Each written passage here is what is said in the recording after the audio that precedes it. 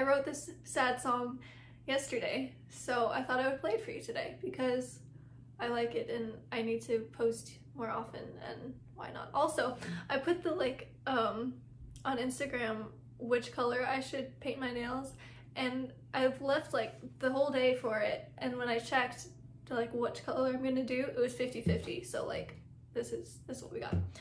Anyways, this is called Off the Grid.